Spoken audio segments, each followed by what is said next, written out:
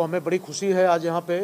ये जो हमने एक छोटा सा कार्यक्रम रखा यहाँ पे सिंबॉलिक रूप से जोनवन में जो एक साल के अंदर पिछले साल में हमने बहुत सारे गुनाह में जो प्रॉपर्टी हमने रिकवर किया था स्पेशली घरफोड़ी में, चोरी में, या फिर चेन स्नैचिंग में, ये हमने मुद्देमाल लोगों को वापस करना था। तो अकेले जोनवन में करीब चार, साढ़े चार करोड़ की प्रॉपर्टी हमने रिकवर की है।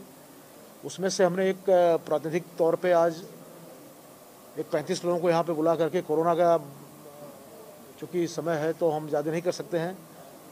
तो इसमें हमने करीब एक पैंतीस लोगों का जो प्रॉपर्टी है जो मुद्दे वालों को वापस किया है इसमें कुछ लोगों को बड़ा अच्छा रकम भी वापस हुआ है जिनकी जो साढ़े छः छः लाख की प्रॉपर्टी हमने रिकवर लोगों को वापस किया है।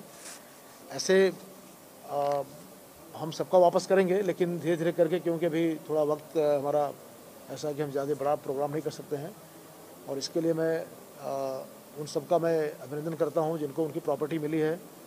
और हमारी जो पूरी टीम है जोनवन की अधिकारी कर्मचारी डीसीपी मेंगड़े साहब हैं इनके मार्गदर्शन में सब आ, लोगों ने जो प्रॉपर्टी रिकवर किया है और डिटेक्शन भी अच्छा है। हमारा चेन स्निचिंग का डिटेक्शन करीब सत्तर परसेंट है।